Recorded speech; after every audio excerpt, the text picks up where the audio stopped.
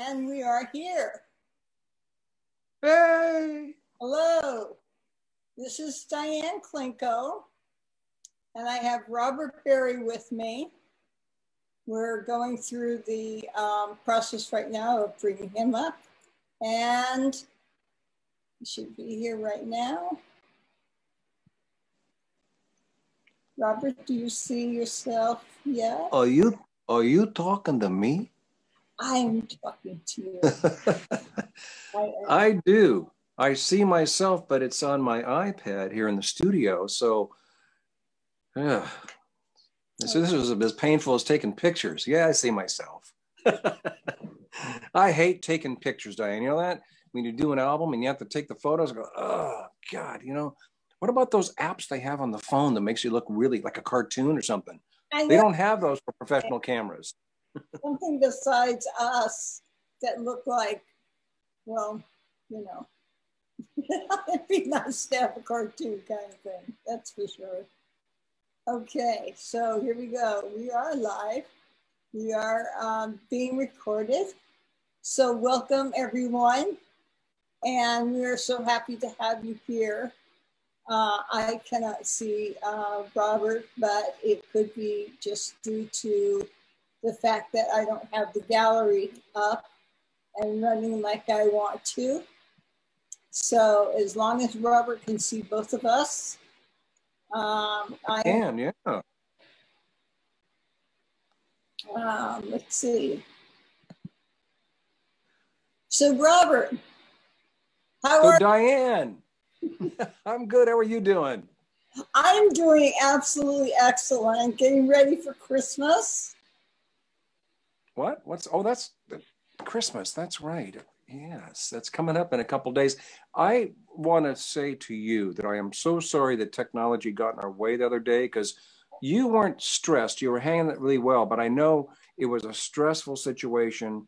And you do such good work, and you're so kind to everybody, and you're in one of the females in the prog world. Come on, how many are there? You can count them on the well, fingers on about 250 hands, you know. But that's, I felt bad, and you made it happen this time, so that's pretty cool. I did, and I'd like to hello everyone from Terry. Uh, let me see. I always have trouble with some last names that are long. Schwarzenwalder. Uh, you're supposed to be social distancing. You have all those people in your house. I know. my house, you know, your studio's been packed. You know, not to talk about the studio, but since March, when we kind of got shut down, my business has been maybe 75 to 80% of normal. Um, I've done a couple albums worth of work on my own, so I couldn't totally pack it, but I'll only do one artist at a time. Um, so it's just them and me. It's a big place. You've been here. There's booths that they're worried about it. They can go in a booth and never even see me or anything. I spray it down every day, morning and night, depending on who's, you know, been in that day with the isopropyl alcohol. I've made it really safe. I've had a great year down here, and people have been doing the thing they love music. And there's so much struggle in the world emotionally and stuff that it's been really a good year for me as far as the studio. It's made me really happy, and the people that come in happy. I'm and uh, I, for that. Um, we have uh, just to interrupt you for a second, we have Robert uh, Schindler. This is Hi Kids. And we have Joe Thompson. Good afternoon. All Merry Christmas. You know, I'd get rid of all, I think they're all communists. I'd wipe them right off there right now. It just sounds like the wrong, a bad group, a bad bunch. no, I'm really happy to. Some names, I, I recognize some of those names and, and good people out there that um, have not only, like I said, you know, you saw on tour, I walk out, the first thing I say, I got to thank you people. You're my people, the prog people, the people who have supported my music so I can make a living in music and still do what I do. Um, you know, and I, I was saying that kind of medium level, you know, I never made it like a, a yes or all that, but it keeps me hungry. It keeps me working. It keeps me striving to be better. And I feel I'm kind of lucky being bubbling under the uh, the Steve Howes of the world, and the Keith Emersons, you know. You really are, you know, to be fortunate enough to have had a career that you really love? I mean, how many of us are doing a job that we either can't stand or sure wish we were doing something different?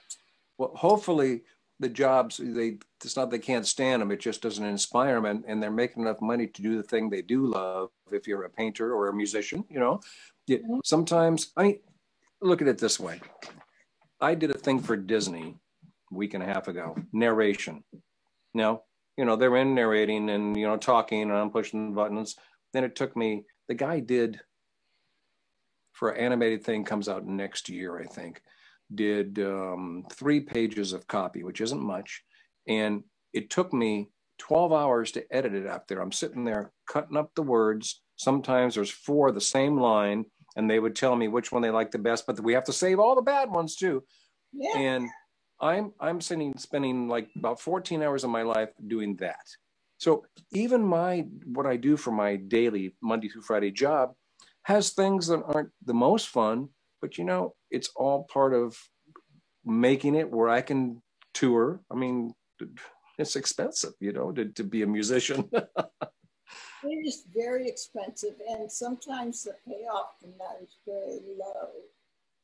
You know, I, I always tell people that come in, especially I, I do um, a lot of the young, like 18 to 22 year old female artists, their first recording. I'll, they'll come in and I'll do their music. If it's hip hop, it's rock, whatever, it's their Sheryl Crow or their Fannie Mae, you know, um, and I'll say, you know, you're going to fail every day as a musician because you have these dreams and it's hard to get. But that one time a year that something is positive, it'll float you the whole year. It only takes that one positive thing, you know, when you're following your dreams. So that's so true, isn't it? Now, you know what? We have Bruce O'Sullivan that says Merry Christmas. We have our Rolf uh, Lemon. There goes, there goes the neighborhood. he says the same thing you and I said. Robert who? That's great. Rolf, you're a scream. Love it. And uh, Terry uh, Schwarzenwalders comes back and says, Happy holidays. All right, very good that's great. We're getting a lot of people that are coming on now. And um, in fact, um, you have a couple of big things coming out. Lucy Arby Kratz and Lori say Merry Holidays. Isn't that nice? You know, it you think people would say, So what's with this new song and video? That's crap, you know. but, those holidays. No, I love it because, you know, for this year being such a hard year. Yes. All yeah. of us for our own reasons. pardon me. For our own reasons and for um, our joined reasons.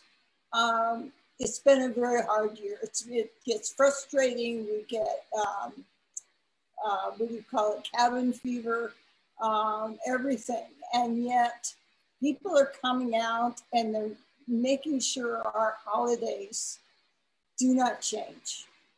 That we're um, Yes, and I wanted to say that, and you even went through sur- surgery, right? But On top of all this, you had some surgery done. Yes, I did. Yeah, I hate to bring, but but it's been that kind of year, you know. 2020 is the kind of year you want to look back and say, I don't remember any of it. None of it. Gone. No, I just want to get so past it so badly. Now, Rolf sent up your YouTube video, a fond farewell.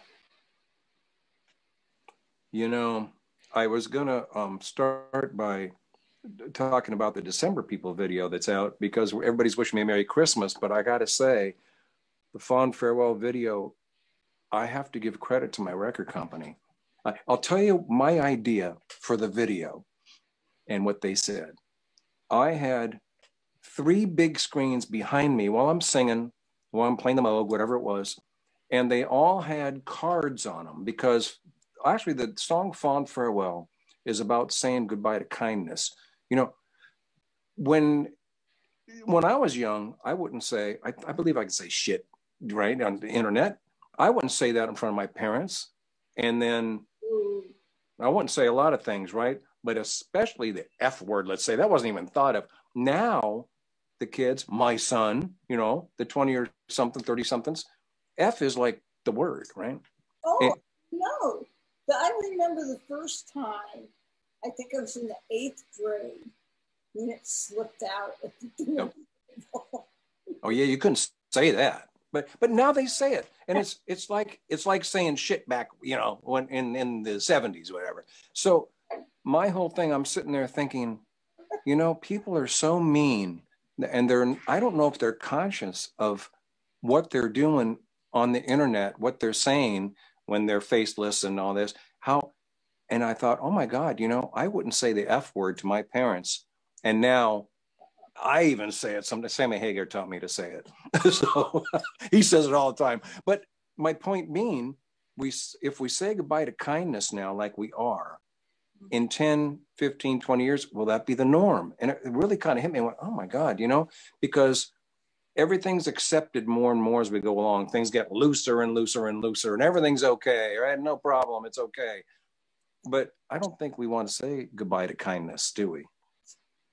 You know, the respect for your elders and knowing that these words are unacceptable to your elders and parents, um, it makes it, um, I think, kind of sad that that part of it has disappeared. Remember way back when, when you go to the front door to see your friend, and you'd be like, you know, hi, Mrs. Smith. Can you come out and play? And now it's, yeah. hey man, work around.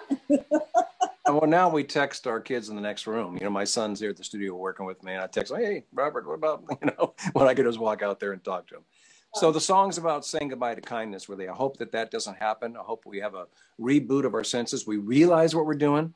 So I was going to have these three things behind big screen TV, like big, big ones, and playing cards are going to come up. Actually, I was going to have five of them because I do a full hand or full house, whatever it's called. I'm not a gambler. Well, I guess I am a musician, but um, so you know, and I was, I saying something maybe not that I wanted to use Hitler, but to be a, like two Hitlers and a Stalin was, you know, some kind of card hand. And then all of a sudden there'd be something positive back there and the lights would light up, the whole thing.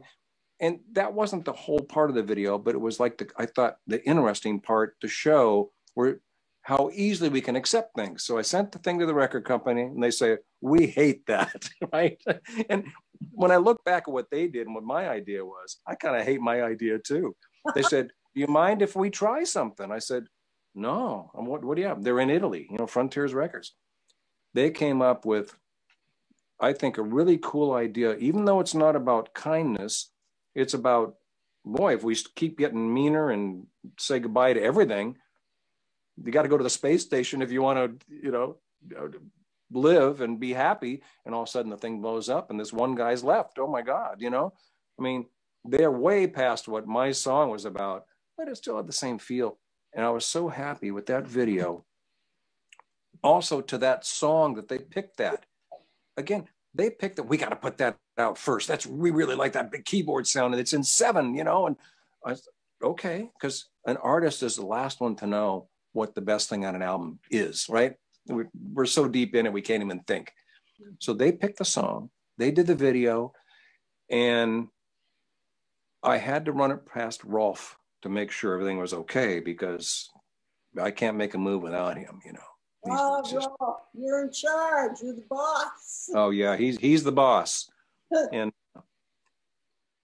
anyway, he uh, Rolf's been a great great friend and a, a great part of this whole three and 3.2 thing. But anyway, so that's where Fond Farewell came from, what it means. That's how the video happened. I'm so excited that they took the sci-fi route because see, I'm the only prog guy that's not a Star Trek fan. I mean, I don't mind Star Trek, but I'm not a big fan, right?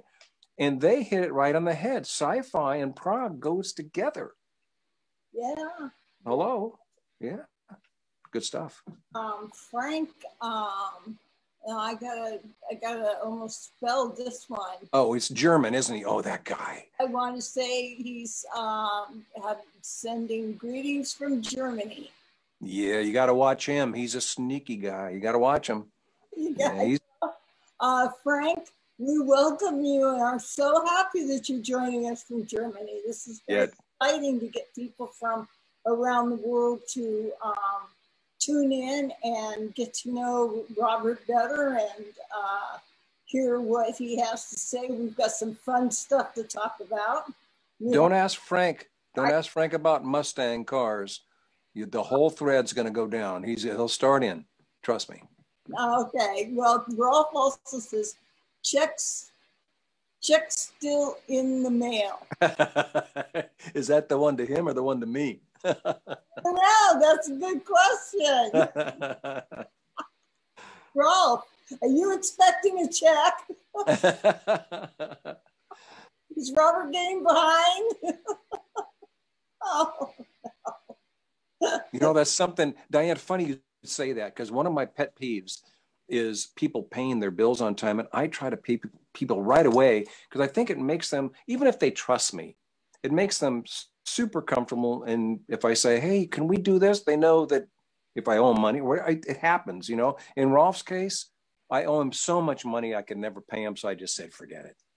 well, Rolf says uh, Mustangs and chickens.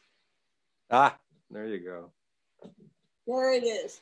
You know, you also have a great album that I've heard um, your first release of um, the song, and it's from the new album, The Power of 3.2.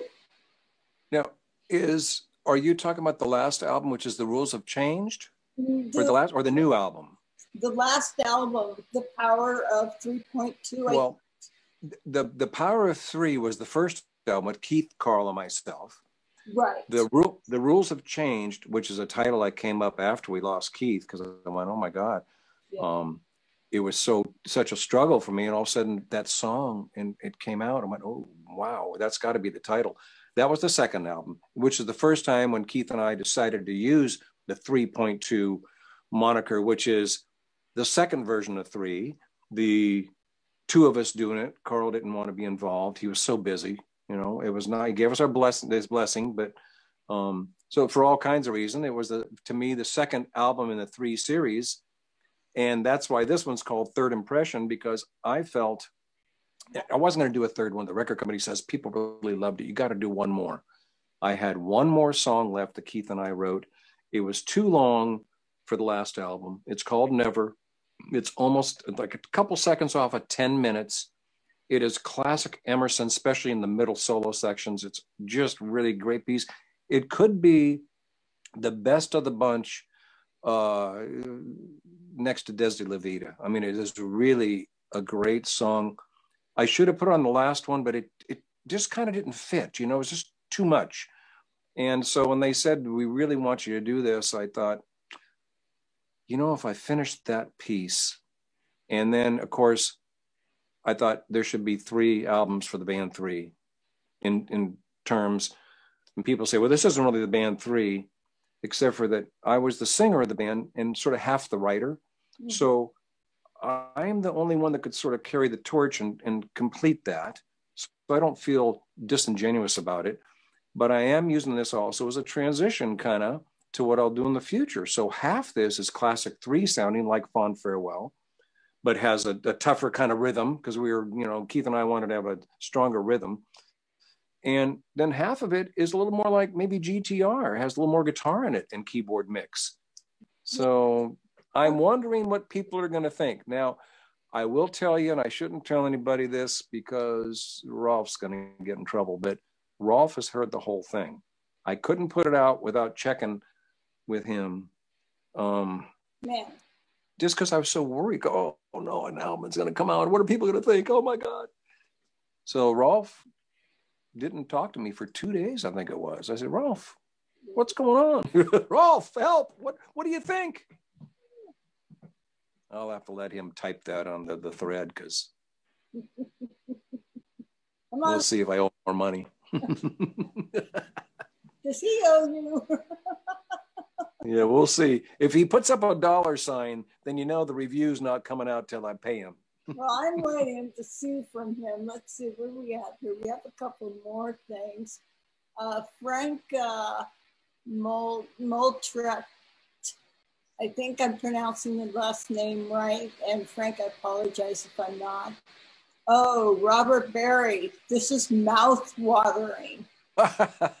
Frank said he is, he used to call himself my only German fan, I think, or, or the head, the top German fan. Uh, and Frank and I had had many conversations. And, uh, you know, I was supposed to go to Germany last, actually this year. I'm trying to put it behind the European tour is supposed to happen. Going to Germany, hoping to get picked up at the airport in a Mustang. And um, Rebecca has a, a boy that she raised in her past life, um, who was an exchange student and thinks of her as his mom, who's a German guy. Martin's fantastic guy. Um, hoping to see meet him in person for the first time too. And then uh, I forget what it's called, some kind of virus or something hit. I don't know. It's no big deal. But I can't think about. It. I can't remember the name. Oh, yeah, COVID. Yeah, that's it. not to make not not to joke about it, but you know, um, the quicker we can put it behind us, the better. Which we're hoping. Anyway, um, I was going to go Italy, uh, Netherlands, uh, Germany, uh, mm-hmm. England. I mean, all over. And what was nice for me was the first time, as uncomfortable as I am having my name in the marquee. I'm more of a team player. I'm a band guy. I like to work with you know Andrew Colyer and Jimmy Keegan, Paul Keller. I love that. And you saw it. You know how good they are. Oh, it's still amazing musician, just yeah. amazing. Yeah, I mean, I, I couldn't ask I mean, they played this the stuff tremendously, and they all sing. You know, I mean, you've got all kinds of backup in there, and uh, yeah. what um, Jimmy did um, part of, I believe, uh, uh, Carnival Mine. Yeah, I mean, and Andrew, of course, had playing Jordan Rudess's parts based on Keith, which is even harder than Keith's parts. I was like, oh my god, and he did it figured oh. that what is it? I was talking to him and I go, how do you do, you know, two different keyboards? You've got a computer to watch. Yeah. You've got something in front of you here, a screen to watch. You've got all these pedals on the floor, and you've got this long thing that I can't remember the name of it. But that just that sounded wrong because I was going to bring that up. That that's what he uses to push the pedals with. Oh, I love the way he just like brings his hand across like that, and then you can hear it. Yes. He words, and it's like, man, this is as close to Keith as you're going to get. I mean, Andrews is such a talented man, and he's got yeah. his own band, Circuline, that is absolutely amazing. Any prog person needs to check that out too. Did, did you see the post when we were in New York and he was taking his vitamins. Did you ever see that that I did? Uh, probably not. It was early on before the tour started. Mm-hmm. And I'm over there and we're taking a break from rehearsal and he has, I'd say 25 vitamins. So I go with my camera. Oh, here's Andrew's taking his vitamins. I said, what, what do you got going there? I thought it'd be interesting. Right? So I put my FaceTime on. He goes, well, this one is for the heart and this one's for, you know, the, the little toe. Here's one for the big toe. And then after about eight of them. He goes, and this one is to help you with the other vitamins. I said, well, let's stop right there. I said, that's a vitamin for the vitamins. He goes, yeah, well, you know, it can take a lot in your stomach, all these vitamins. So you have to take a pill to. I said, that, okay, I'm going to cut this off. That just seems way over the top. That's Andrew. He is over the top. He's such a great musician. Um, he's a doctor, you know, fantastic, nice guy, you know, um, really dedicated uh, we're working on the Prague Progstock Live DVD right now, and uh, he, you know, calls me asking about this and that, what's going on, and he stays on top of things, and really an asset to a band, really. Such a great guy to talk to. You know, when I met him, I was just like, I was so impressed. I felt like, oh, I found a friend. You know, I mean, that's just how he talks to you. Just so warm. Yeah. Yep. And um, really good guy warm. Rolf is back. Oh, jeez. he says to you um, when we were talking about money, uh, he's Yes. he's selling copies on eBay. He, you know, Rolf, um, I, if I remember right, he has some of the vinyl albums where the edges got damaged a little bit. He goes, you know, I'll put on eBay so people who want to don't want to spend as much money, they get them cheaper. I said, okay, you know, because then shipping sometimes the cardboard gets bent. It's not a big deal, but um, people want pristine ones. I still have, you know, I have 300 of those. I've sold 200 because I haven't really pushed it hard. I thought only the people that really find it uh, can order the vinyl from me. And I sign it and I have a special three guitar pick and this you know, postcard of all the stuff on it. And I don't want to push it like I'm the vendor for the, the Rules Have Changed album. So I pressed 300. The record company let me do it myself because I wanted it to be hands on. And I've sold 200 of them. But I, I don't even know how many were, were sort of damaged. Rolf might have five or six. I thought, well, great, you know, put them out there. Why not? I think we'll be talking. I don't have that yet. um, that's definitely something that I would be interested in. But Rolf comes back and he says, Great album. Third impression, every song is well constructed. Robert Berry meet, uh, meets prog in 2021 head on. That's right, Rolf. You just keep keep them going because that's that's No, exactly it. Oh, look at all here. Oh, here it comes through on my phone. There's Rolf's invoice. Yep. He wants three thousand dollars, Rolf. What? Rolf, you, you you take you take no uh, no side steps, man. It's just boom. you know, he, he Rolf is uh, not only very very intelligent and a great musician, but his sense of humor is really special. I get a kick. I love it. You know, I um, have, have uh, talked to Rolf, you know, kind of briefly on Yeah. on Paul's um, Patreon page. Yeah. And um, Paul uh, runs like um, different uh, different things like uh, Sundays, a silent movie, and Right. gives you uh, information and whatnot. So, um, yeah, that's Here's what I'd like. Here's what I'd like to do because I can't do it. Could you pronounce Paul's last name for me? uh, Oh, that was throwing you under the bus, wasn't it, Dyanne? let me try. Uh, Bella, Bella, um, Bella, uh, Bella Lugosi, I think it is. Bella, It's, it's something like that. I think. all beat. All beat. What a great talk about nice people and great musicians. He is amazing. We, I did an interview on his show with him, and I couldn't stop talking about him and what he does with Carl. And uh, he is really he's so amazing. he's so easy to talk to. I mean, you can ask him about anything, and he just puts it right out there. Like it's he has his whole heart out there. You Yeah. know, for um, for anybody that'll listen, and it's just so wonderful. I- Really, really great musician. I think he's amazing. I think it's amazing. I think I've done a Q&A with him now twice. And um, lots of fun. Lots of fun. Yeah. Oh, by the way, everyone who's um, putting out there, um, putting out there on the feed, don't forget, you got to challenge Robert because he's pretty sharp about a lot of things.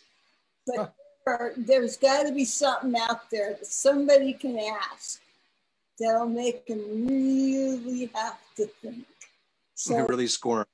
questions like Buzz has, he has two. If you would like to hear them, Uh oh. Oh, gotta go. Gotta go. See you later. let me see. Here it is. Sorry, I got everything know- kind of down around me. Um, let's see, Buzz. Uh, Oh, talk about troublemakers. Oh, that, oh, that Buzz. You got to watch him. you gotta watch him like a. I, I, I, I'll tell you, Buzz is great. He's so You, you know, I should mention Buzz Delano um, knew Keith for, for some other reason, and I, which I don't know, but When before three went on tour, we went to LA, played mm-hmm. our first gig. Before we had rehearsed, they said, "Do you know fanfare?" Yeah, I played in my local band, cover tune. Yeah, okay, and we'll do honky tonk train blues. Okay, yeah.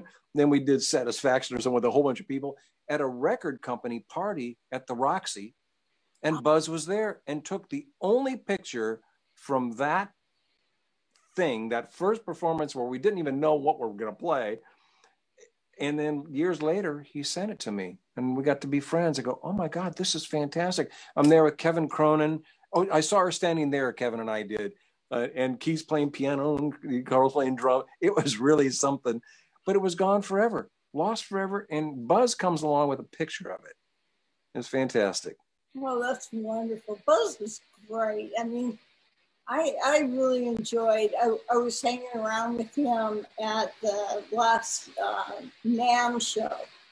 Yeah. And um, in fact, is we, uh, funny story about uh, the two of us taking a ride back because it was so crowded and we are trying to get to our car. So we took one of those bicycle caps. yeah. Lights all around it and stuff and play the music. And um, he was like, um, I don't know, Marlon Andretti or something. But he was going up the sidewalk. He was going up past people. He was going into cars. And Buzz and I are just totally freaked out. It was, it, Buzz will tell you, it was it was a nightmare ride. It really was scary. And we wondered if we were getting to the hotel. I, I better answer his question then. What was his question? Um, let's see. Let me see. I'm trying to find it now here. Uh, I just saw it a minute ago. Too. Let me see. He's slippery, that buzz. No, he's very slippery, but I, I absolutely love. Um, uh, oh, here it is. Okay, a couple of questions for to send to Robert. What's the best way to say blah blah blah blah? Hi Dan, here are two questions for Robert.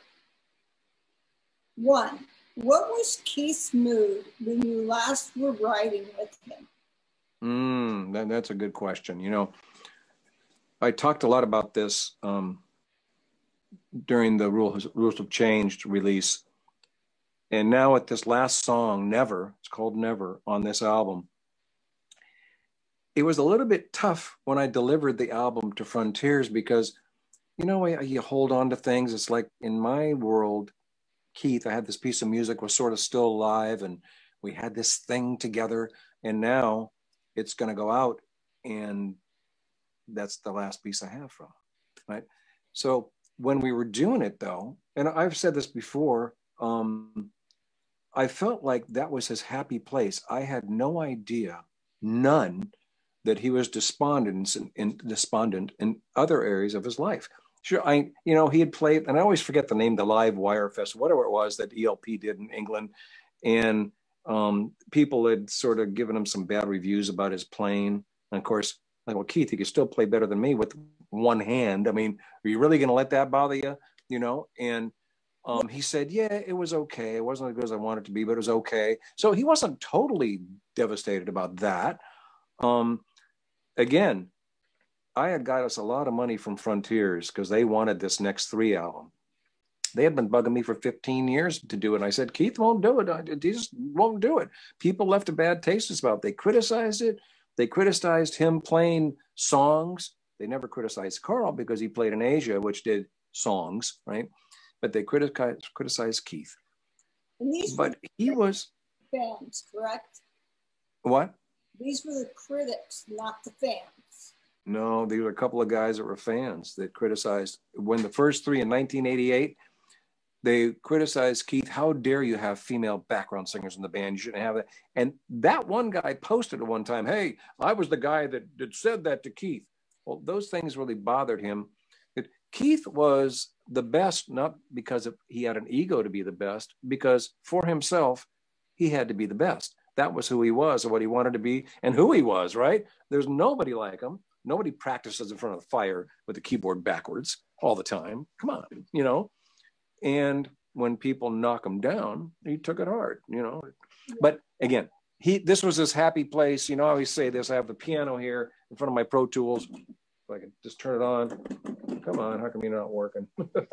right when I need it to work, it doesn't work, right? So, you know, we'd be working and he'd be playing me stuff, he'd be playing him stuff, we'd be compositing these things. He had a lot of money coming from Frontiers. This was a happy place, a happy time musically. But then especially when we'd hang up the phone, let's say, like we're doing now. We could, Dyanne, you and I could write a song right now. You put, pull your guitar out there. I got my piano. We could do it, right? Oh, and and I can record the audio and then figure out how to edit it around, and then we'll perfect it later on. But we could do it. But I didn't realize lyrics. I used to yeah. love poetry. Yeah. So um, and and yes was a big thing for me when um, I was in the seventh grade. And I, I mean, I was so into Jon Anderson's style of mm. lyrics that I was basically in the same genre of his style. Yeah. Was making up my own lyrics, but my problem was this I didn't know how to put music to it. Yeah. That and, was, you know, there's sites for people that do lyrics and people that want their music that don't do lyrics. They put them all together now. I mean, it's it's done online. You know, yeah.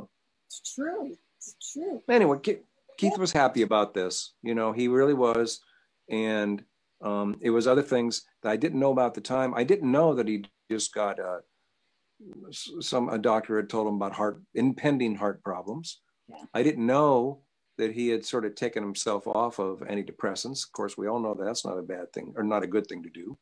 Uh, I didn't know those things because we were making an album. We were both like, God, this pretty. And then, of course, because of Rolf, hello, the three Facebook page, people were starting to say, hey, you got to revisit this album. This album from 1988 has some good stuff on it. There was a positive resurgence for what wasn't accepted, at least by the ELP and Yes fans, let's say back then. The pop world, you know, the rock stations and stuff, we had a, a top 10 song, so they accepted it, the, the new people.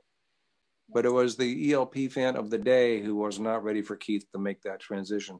So anyway, Keith, it was it was good. He was in a good mood, happy. Um, you know, you might see in the uh, Powerful Man video, that Keith asked me to go to San Francisco, and him and Greg were were touring just the two of them to be part of his documentary, which is going to be a great thing if that can ever come out. The, the, the, tribute concert was okay, but nobody involved in Keith's band. Uh, uh, Carl wasn't there. I mean, that, that's a whole different deal. But the documentary is real people and Keith being interviewed and stuff. And uh, David Woodward. I hope that it comes out at some point because there's some great stuff in there. Anyway, he asked me to come and be in it. So I'm sitting in the dressing room and Keith comes along and Robert, what are you doing here? Like he's a big surprise, right? And and we talked about things, but he grabs my goatee at the time. He goes, Rebecca's a keeper, lose the beard. Right? it's a, made that uh, gift from? Were you guys yes. Yeah. Yeah. No, it, was such good memories. And now that Never, this song is on the album, once that's released and out there and I think people are going to really love it. It's the last song on the album, so I have to get through the rest of the stuff to hear it, but they're going to love it. And it's a little bittersweet for me because that's the last thing I can do with Keith. Yeah. yeah. I remember being in the studio and looking at the um, keyboards and piano Keith had sat down to work on. And yeah. um, kind of touched my soul a little bit and um, was surreal. Um, thinking that um, you know I'm in the same room with the great people. I've got you who um, who's showing me around and all these different artists and been yeah. to Keith's area of where he used to hang out in. That's yeah. We re- three rehearsed here for our tour we actually tore everything apart and rehearsed in the the big room. You know. Yeah. Yeah. yeah. Cool. I, I I think I showed you the the list that Carl is still on the wall in there, where he had all the songs, the set list, and he had what had to happen with his electronic drums, all things for his roadie. It's still on the wall in there. Yeah, yes, I think you did show me that. Yeah. Yeah, but it's also surreal to me. It's just all like I've just gone back in time, and um, this is where Keith plays, and this is um, where Carl probably played, and yeah, you know, and you play over here, and you guys together were working on the boards and doing all the editing and you can feel it when you walk in this room that i mean greg kihn's in every thursday we're writing a new album. Uh, gary pihl from boston sammy hagar's old band they're always in here david lauser you know the guys on december people you know the tubes you know fee and uh, and roger were in uh, it's been a year and a half now since we finished an album that was recorded in germany i believe we are mixing stuff. I mean all these musicians and then i collect everything like guitars and all the keyboards. You know, I have an old ARP um, 2600, the OASYS that he, Keith helped me get. I'll never get rid of that. It's such a great keyboard. The Moog. I mean, I I keep all this stuff. I don't get rid of it because it always comes back. You know, it's kind of like clothes, right? Aren't bell bottoms in again or something? You know, so I keep it.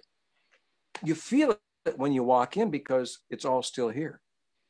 Yeah, it is. It's like um, it's like studio slash museum. Yeah. If if we were on FaceTime, people could see it. I'd open the cupboard here where the Steinberger that I got when I was playing with Steve Howe on GTR, and I said, Steve goes, "Oh, that's interesting. I haven't seen one of those." I said, "Yeah, Steinberger." I said, "You want to try it?" He goes, "No, no, that's okay." Then I went to lunch and I come back and he's playing it. Right? It's sitting right here. It inspires me. Um, a Strat that he gave me that, that he signed, uh, Rickenbacker bass, a Chris Squire uh, signed for me that we have the same manager, Brian Lane, and Chris said, I've never seen one exactly like mine, as far as the feel and the and the year and everything. You know, um, all these things are here, and they all you can feel them. You know, it's just you walk in, and it's a creative place with no pressure, and things just flow. It's it's amazing. You just sit there. You stand there in front of each one of these um, base bases for me, and Chris Squire just stands right out. Oh my God! And yes. just seeing Chris's signature on on this Rickenbacker, it just yeah. uh, it's just uh, give, gave me goosebumps then, and it gives me goosebumps now. And he didn't want to sign it. He goes, "Let me sign the pick guard." I said, "No, I want you to sign on the wood." He goes, "That'll, that'll wreck it. In the wood, it'll never come out." Said, exactly. I mean, McCartney and Squire, those are my two idols on the bass. They're both yeah. great at note choices. Yeah. Squire's more aggressive. I mean, I kind of I like to play aggressive on the bass, and his tone is cool. McCartney just genius note choice and what the bass it changed bass for everybody with what he did with the Beatles, doing different notes and walk all the stuff he did is incredible. So to have that, and of course that sits right next to my Hofner bass, which is like McCartney. These are all little things that mean something to me that no one would ever know when they walked in here. But there's Squire and McCartney next to each other, basically in my mind, you know. A picture of Keith, Carl, and I from our video is on the wall from Cerwin Vega. No one knows that Cerwin Vega sponsored our tour and gave us all the speakers and everything we use and had stacks in the Talking About video. You can see if you look at that stacks of Cerwin Vega cabinets behind us that Keith and I used. And I have a picture that they used at the NAMM show. You mentioned the NAMM show. That is the coolest transition uh, with dots and stuff of Keith, Carl, and I, and one of our um, dancers in the video. No. It's so cool. It means something to me when I walk in. I don't even have to look at it. I just feel the support and the years of working with great people and the inspiration musically it's weird because I, I, always have ideas. If if like i say if you want to write a song right now okay i like your christmas tree. Let's see what is that on there? Oh candy canes. Okay the candy canes on dyanne's christmas tree. You know there's always ideas. You know and i've got up here i actually i'm going to get up for a second here. I actually moved this over for something else i was recording but well, it's a nice background but of course, you know. Um, oh, yes. Yep, those are beautiful, aren't they? They really are. Where's Roberts? Now, you make sure you hang that up safely because if it drops on my dime here, I'm in trouble. I'm telling you, and I've got nothing but wood floors, so I can't drop it. you know, I guess that was uh, one of those things. If you think it, it's going to happen, and I thought it. So I'm sorry. I apologize. Put this down until I have free hands because I do have just a wood floor, so it would break. Okay. More uh, questions. Okay. And comments. Um, let's see what we let's see what we've got going on here. Um, let me see.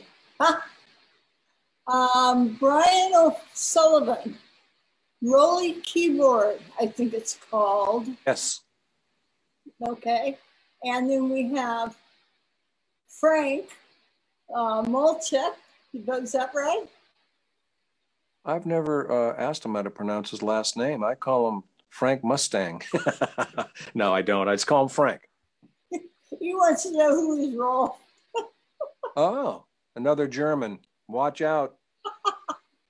and then Frank also asked for a very, will it be the same live band? Definitely. Good. I mean, first of all, let's take Andrew. Wow. I I was watching and listening to some of the Circuline stuff, mm-hmm. and Andrew came to me at a December People show in I don't even know what the year was, but it was ten years ago, let's say. And he comes up and he's a friend of my wife's brother, Ron Matthews, and I don't really know him that well. And he goes, How do you get back in the music business? You know, I've been a doctor for a long time. I want to get back into playing. I'm thinking, oh boy, another one of these guys, you know, they they missed their 20s or 30s and their 40s. Now he wants to get back in music. I said, well, you, Andrew, you just do everything you can. You write, you have to sing, you record, you you perform everything you can. Son of a gun, if he didn't do all that and more, and then I'm hearing these albums, I'm going, this guy's really good. So I called him. And there's a lot of different keyboard players I was considering, but I needed a guy that not only could play great, but sort of needed to make a name for himself. So when I said, you need to be truthful and honest to the memory of Keith, this has to be done the way Keith would do it, not the way you would do it. Like if I asked Geoff Downes, which I, I wouldn't, but you know, Geoff's not going to really play for Keith. Jeff will put himself into it. And Andrew, I thought, as a new upcoming guy, good enough and smart enough and energetic enough and all those vitamins, you got to like that. Um, he said yes right away. He goes, "Oh my God, that'd be great." Of course, then he listened to Karn Evil Nine for real and realized what he had to do. But then again, he must have gone like. But you know, I just it's intuition. It's it's fate. I don't know. I just knew that Andrew was capable of all that, and he's doing the Jordan Rudess version. That's really really tough. Really tough. So I just watching him at that uh, show in San Pedro, Pedro, um, and just watching him. And the the ROLI is the black keyboard that he leans over. So you saw him playing that too. That's the ROLI somebody asked about. Fantastic. And it's rubber and it feels weird and you got to bend it with your, your finger sliding over and stuff. And he plays that thing so well. It's amazing natural. And then let's not forget that uh, instrument that he puts over his shoulder. The guitar, yes, yes, the the guitar. Yeah, and he did that, of course, because Keith, Carl, and I both, of course, I had the bass, but Carl had a drum machine, the Dynacord, whatever it's called, rhythm stick, that was like a guitar, and Keith got a guitar, and we all got together in front of the stage. I got a picture here of that that is so cool that no one's ever seen. Um, and First of all, Carl would bang on my bass with the drumsticks, and I would hit the, his uh, rhythm dynacord thing, and then Keith would be jamming away. So Andrew wanted to have that kind of thing for Eight Miles High. So he got that going, and then he had it painted special. And oh my God, he was so dedicated and still is. And you know, and look at Jimmy Keegan. Uh, and, and, again, Andrew's idea, he goes, you know, this guy Jimmy Keegan's pretty good. I said, well, duh, yeah, it's Spock's beard, and he sings like a bird. I wonder if he'd be interested. I go, why would he, right? What a voice.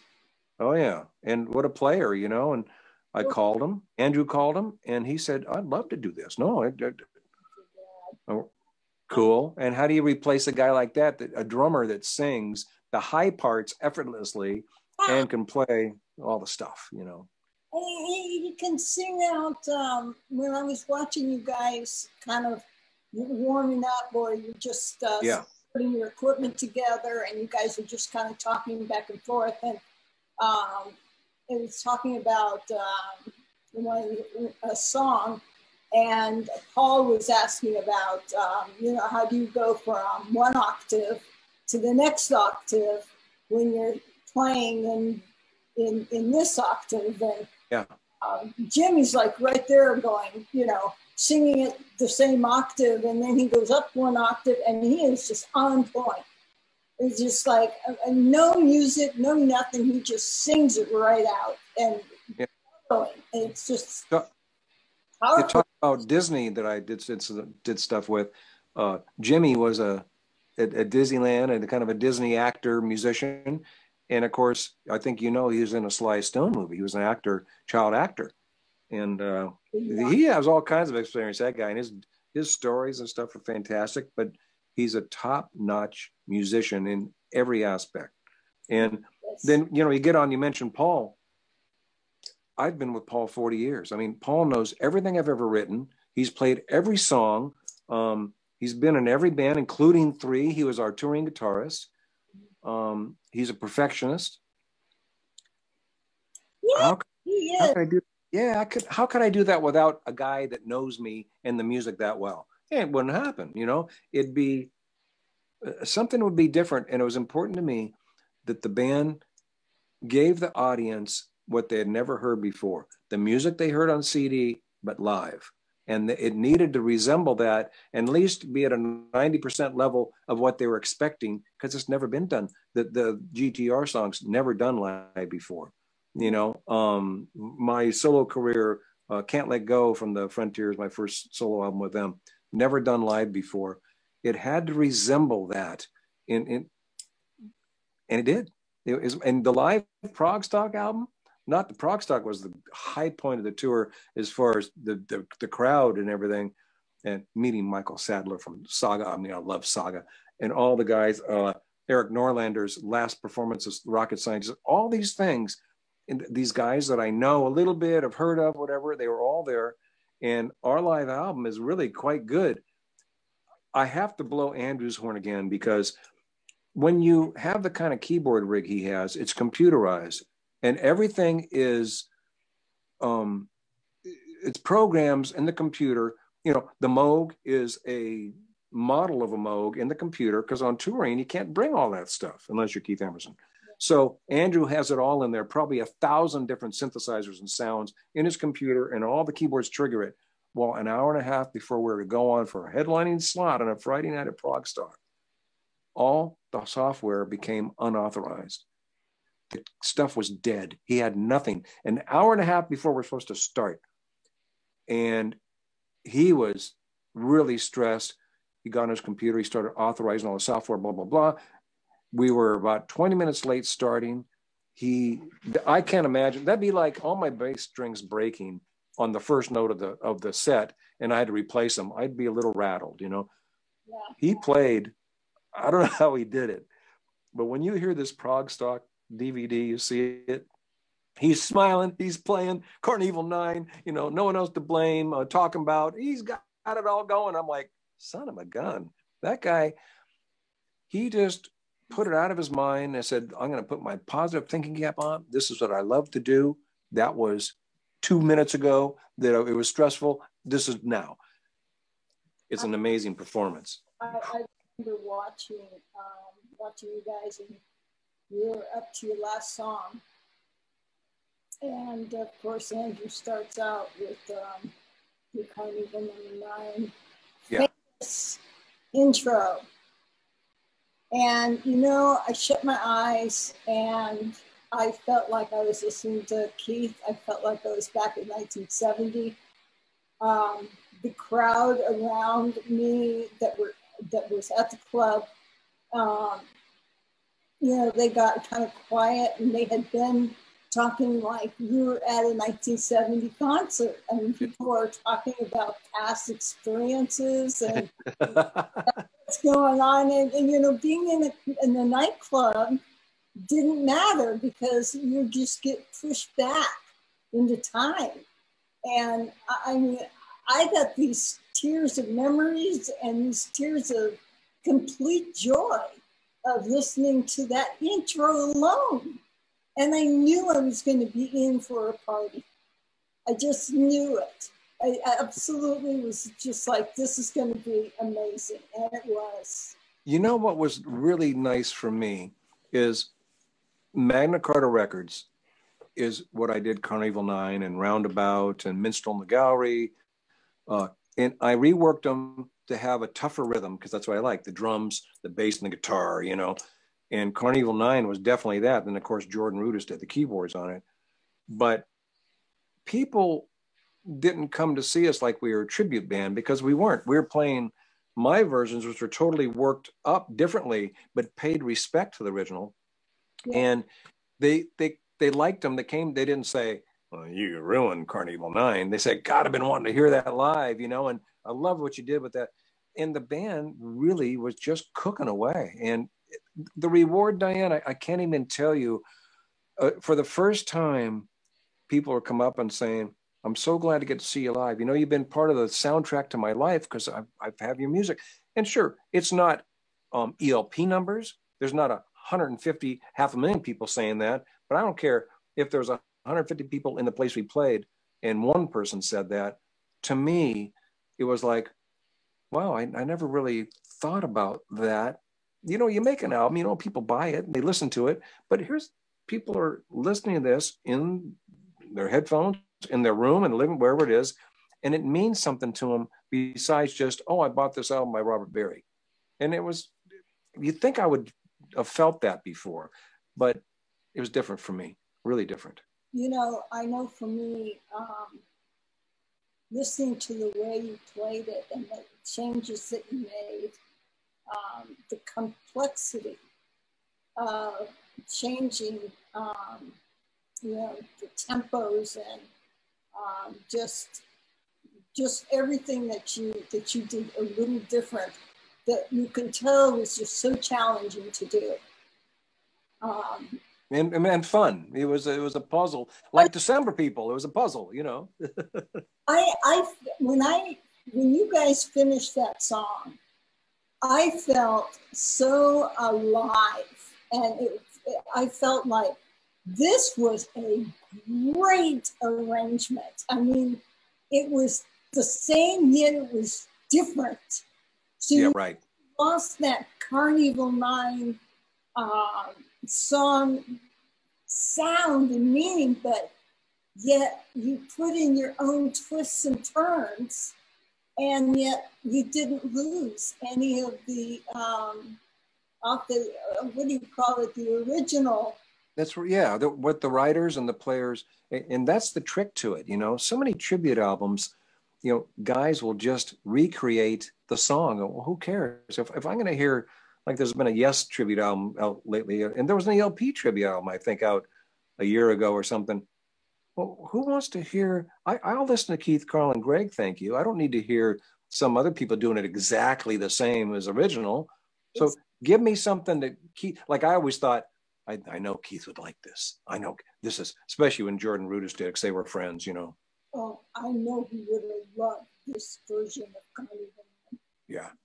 Anyway, it, it was good to do that. It was great to be able to play the GTR stuff that had never been played out. All that stuff was just tremendous. And so many people, because um, we had a lot of merch there because I, I brought everything I over the years that I had left over, you know, and people were in the line and it wasn't about selling them stuff it was about connecting with them and shaking their hand and thanking them and boy i tell you across the country it was i still can't quite explain how it made me feel because i really hate seeing my name on the marquee i don't i don't need that i'm i get to do music every day i'm rewarded in exactly the way i'd like to be rewarded i get to do what i love and i don't care if it's working for Mickey Mouse or it's you know do, doing the tube stuff. I love it.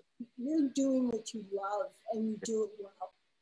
You you are multi talented, You, you play everything from drums to keyboards to bass to guitar. It's amazing how many instruments you can play and you sing beautifully. It's um, it's a big package for you. Oh, here we go. Another check I got to mail out. Jeez. hey, speaking of checks, we have Uh-oh. a couple of more um, comments to make here. We have somebody, I think his name is Paolo uh, Rigoli. And um, Paolo, if I'm pronouncing your name wrong, I'm very sorry. Um, Robert, will you consider playing live in the fabulous track Last Ride into the Sun? Mm. That was, you know, I've spoken about this a lot because for me, the new guy, to have a, I think our talking about went to number seven, top 10 US. That was pretty cool. I built a house off what that album and that song did for me that year. That's um, the, the rest of my friends here in town in music, um, they still enjoy playing music, but that was like a badge of honor for me that I finally, it's not, again, it's not about the money, but I was dedicated enough and did something enough people liked that I called it the house that Emerson built, right? I couldn't help it.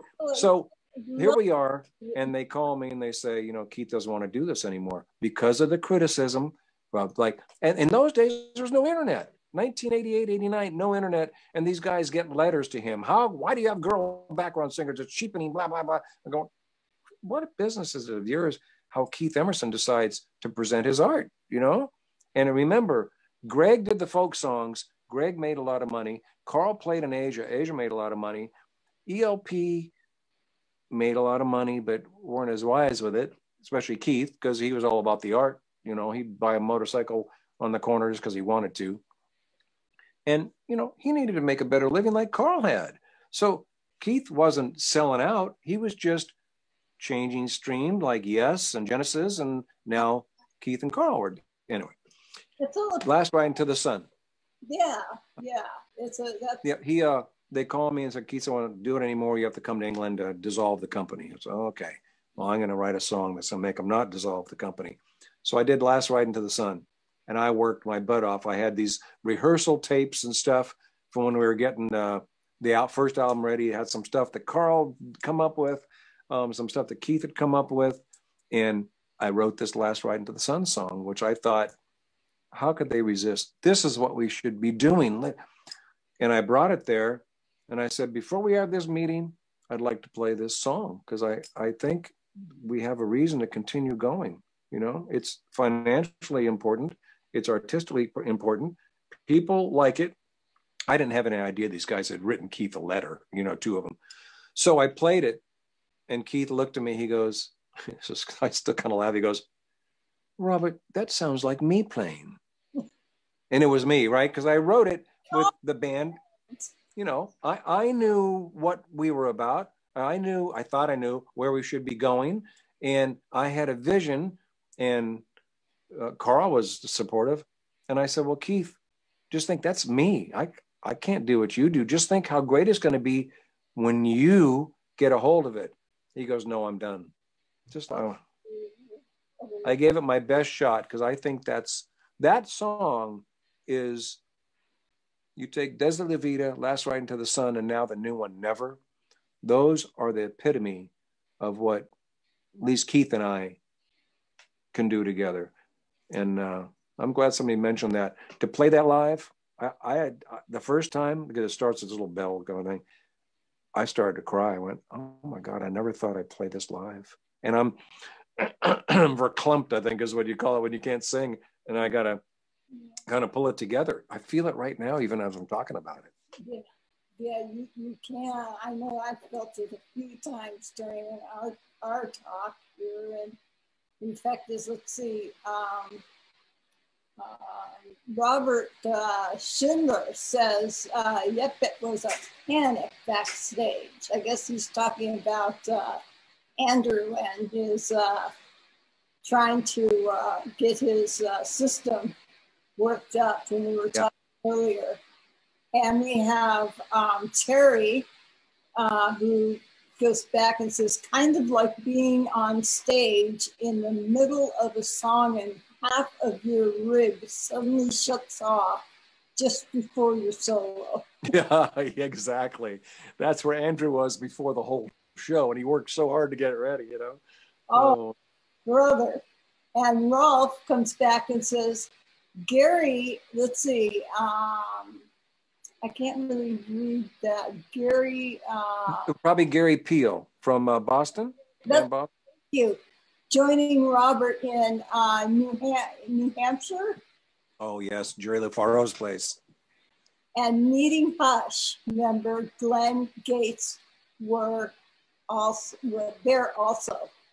There. Yeah, you know, that was, I got to say, we were in Canada and um, you know, I I try not to talk about this, but I was really just stupid um, with a couple managers. When the rules had changed, had come out, I got contacted, and Andrew got contacted. The two of us were talking to people because I need someone to back me up, and he's a smart guy. And we had this guy that was uh, vice president Poly, Polygram Records at one time say, I got to manage you guys. This is tremendous. I mean, you know, this is going to be really big. Everybody loves the album. And I bought into it.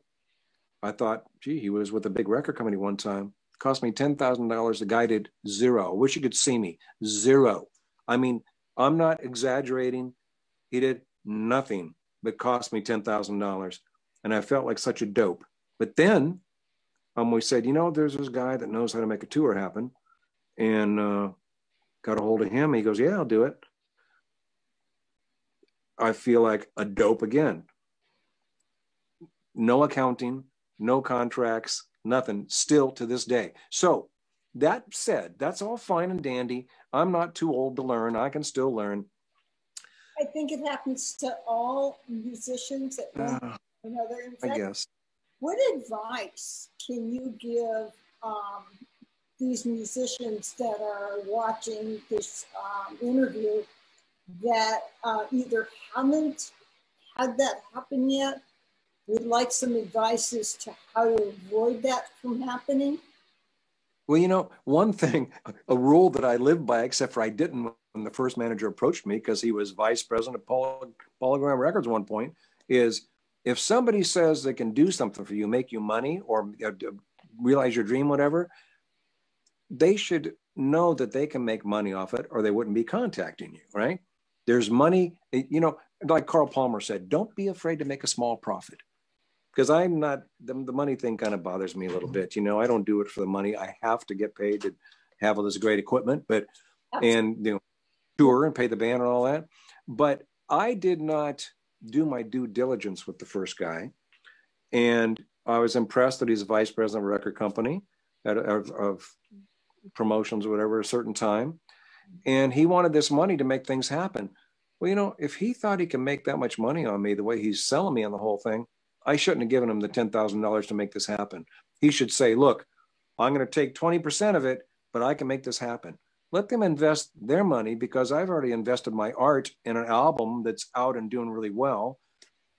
So that's always a problem when someone says, Oh, well, I can do this for you. It's going to cost you this much money. Then it's just a job. You know, you want someone that believes in your art and thinks that they can do maybe, bet, let's say somebody wants $2,500 to promote your album. Well, that's not very much money, really. So yeah. if they really believe in you, maybe they can make 10,000, maybe 25,000 if they really push it. If they think they can make it, you know, and sell 50,000 albums, you know, they have to believe in you in a different way than just getting paid for this line item. I like That's one thing. Uh, the other thing is don't follow your intuition like I did. Like, oh, oh this guy was a vice president of, you know, this, this house. Yeah, I thought, oh God, you know, this, he's connected. Yeah, that was a mistake that I shouldn't have made. I should have checked him out thoroughly. I should have. I did give him um, checkpoints that he had to hit. I set that up. He did this, this, this, this, and then as they came across and he had an excuse, and there was this. How we're going to do this instead. I fell for it. You know, set your goalpost, set the line that gets you there, and make sure you hit it. And if you don't, you know, we all want to hear what we'd like to hear is the problem. And I'm no different. I want Dyanne to say, Oh, that song, I love that song. But if you say, you know, I don't care for that one so much, but I like that one, well, I can take that. But I'd rather hear you say, Oh, I like, oh, everything you do is just wonderful, right? I mean, that's, we're all like that. We want to hear what we want to hear.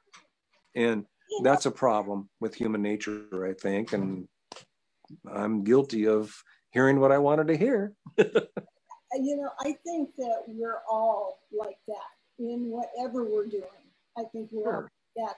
And you know, the whole idea of, I really like your advice about, um, you know, someone asking you for money because it's just like anything else that could be a scam that, mm-hmm. you know, oh, we're going to give you $50,000, but we need $10,000 from you first. Right. I had a, a scam from England. Some band wanted to come over here. They said, we're going to send you this money, and then we just need you to give 5000 to so-and-so. I thought, okay, that seems weird, though. I didn't do it because it just felt weird. But what happens is exchange rate changes, and that costs you money and you've paid somebody else and they cancel everything out. Oh my God, there's all kinds of scams. Yeah. You asked me about about that. I want to say LaFaro's, um, Jerry and, and, Kathleen out there where Gary Pihl came and Glenn Gates came. Um, we came from Canada, the, the worst gigs I've ever played because of the management. And um, he could not make this promoter over there step up and do what he said he was going to do. And it was I mean, you're going across the border and you never know if you're going to get back over, even though it's Canada and it's all safe. And I have friends over there, but um, so we're driving. Oh, it was an eight-hour drive to get to the LaFaro's place, and we get there, and it was just magic. It was the best gig after having the worst gigs you could ever have. Um, and not, not that the people in Canada were bad. It was just the promoter and the way the venues are set up and kind of being out there on our own with no help. You know, the people came, but it was just really weird. Um, the Faros were great. The venue was great. The crowd was great. And they were right in our lap, this little stage. And it couldn't have been cooler that it was like that. It was really fantastic. Um, we made some good friends then. They fed us in the morning. We showed up for breakfast in their home. It was just really the greatest. It was, it was really super. And Rolf was there. Uh, yeah. And that's where we learned how much trouble he was. And Dwayne Farrell came with him, a, a friend of mine from, from California here that we'd become friends through the music. And um, Dwayne printed me a book of his time. He came to, to five or six dates with Rolf and they did the merch and they helped us with everything. And he printed me a book of the photos he took and dropped it off here at the studio. It was it's it's sitting here. If like I said, if I could show you things on on the um, the video here, I would. It was such a tremendous gift because it's from his viewpoint of coming out with the band, hanging out with Rolf, which is that's risky business there. You know, you never know what's going to happen. Um, yeah, you always got to keep an eye on him. No, you know it. I'm, I'm if I, if nothing else, I've learned that. I might have had two bad managers. And by the way, I have a great manager now, and he came to Progstock uh, from England. He said, "I've come here to write for Prog Magazine." He goes, "Best set, best music. I just love it." Um, congratulations. Shook my hand. Went home got a hold of me after the tour is over. He goes, I'd like to talk to you about something.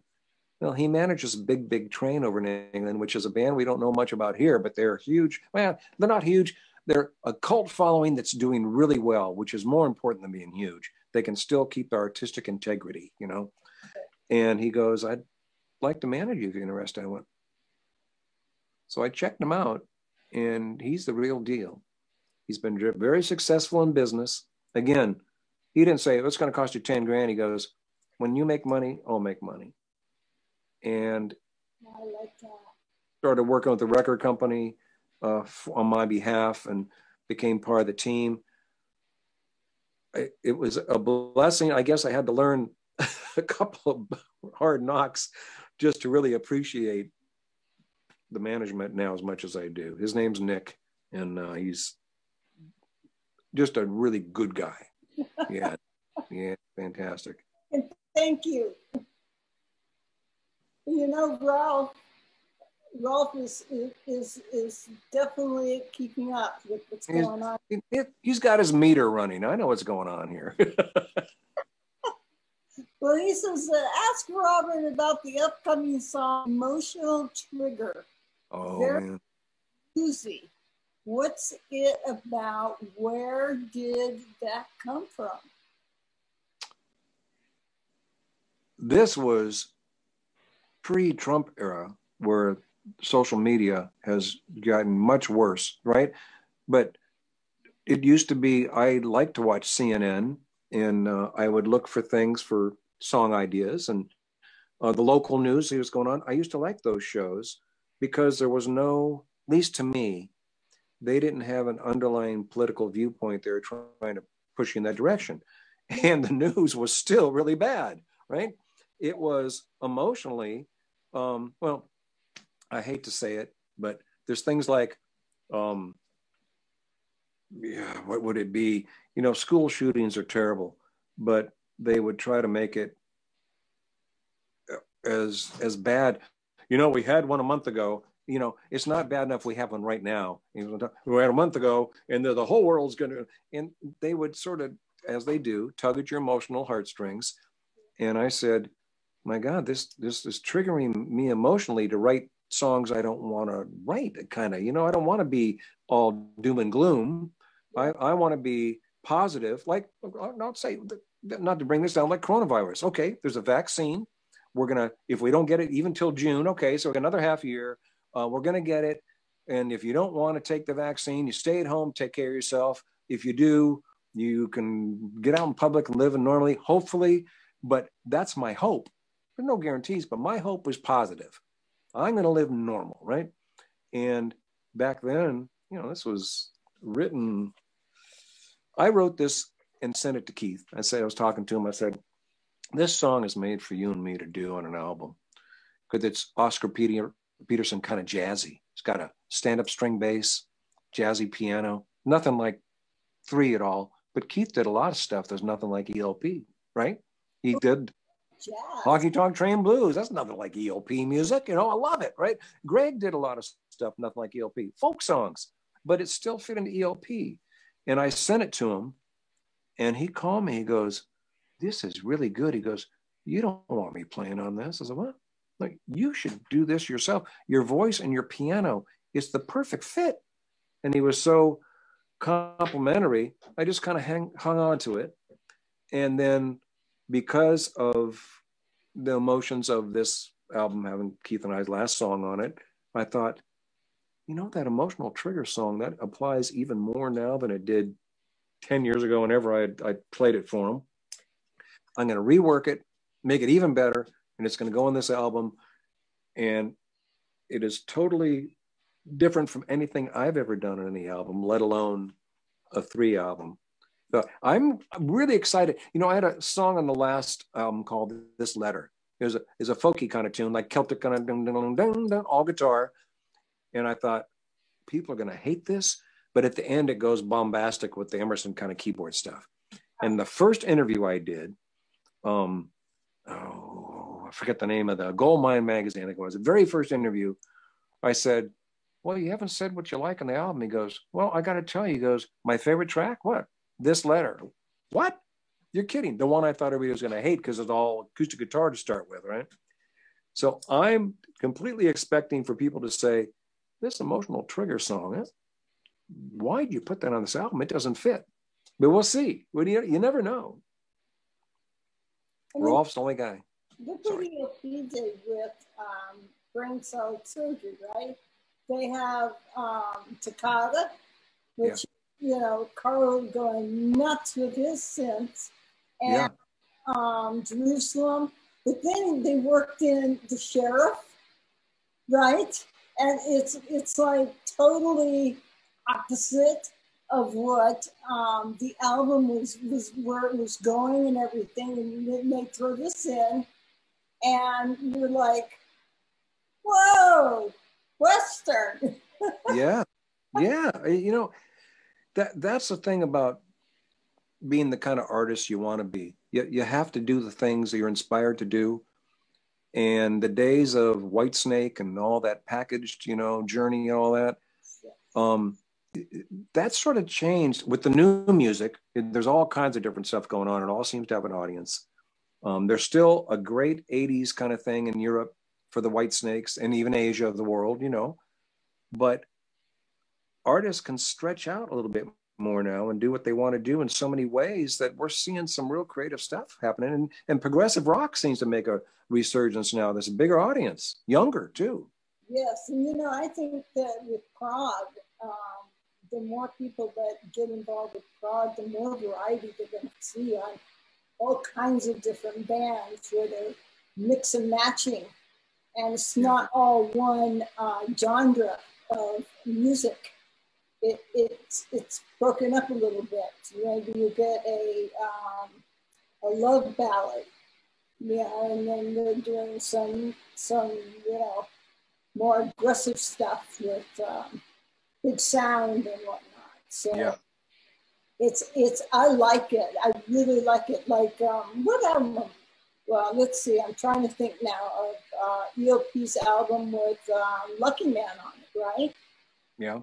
I mean, they weren't all the same type of songs, the same music.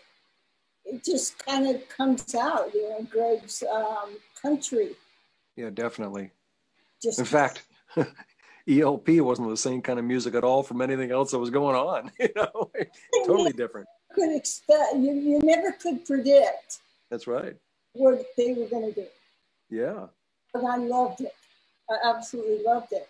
And even even yourself, when um, I saw you guys, um, I couldn't predict what you guys, how you guys were going to play things, and it was just so awesome. I'll never forget that night as on radio. Well, I sure wish we could have been out this year again after the European thing or before it. We're going to do some more dates. I wanted to get down to Texas, you know, southern uh, United States. We did the East Coast, we did the West Coast. Um, yeah, really. And you know, I wanted to get more to the Midwest too. There's some real great uh, venues there and a lot, of good music loving people. And uh, well, we have to talk because you know, Southern California is like you know. That's your your stomping grounds, but you know the concert you want in your garage, it's not going to happen, Dyanne. Sorry. well, actually, I was hoping to put you guys all out in my patio. There you go. Everyone everybody can have a chance to hear this great sound and um, come over and we end up having this big party with barbecue and you know just do it up and I'll get my first two managers to pay the bill. What do you think about that? like it, huh? Absolutely yeah. brilliant. You know what? Buzz has one other question that I didn't even get to yet. And um, let's see.